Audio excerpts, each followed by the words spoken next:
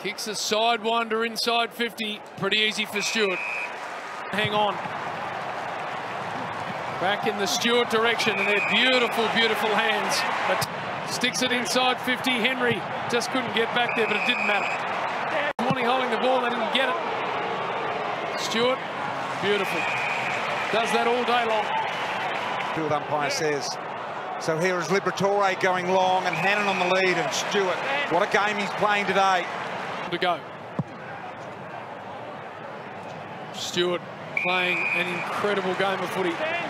Bird, he's got Daniel White, ignored that, goes for something more, and this man is almost impenetrable at the moment. Got the handball over the top. Here come the dogs again, right to the line.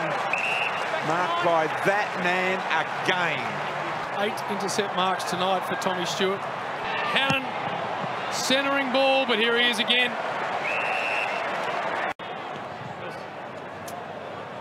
What a great piece of that. And Stewart's hands in an intercept marking situation have just been sublime.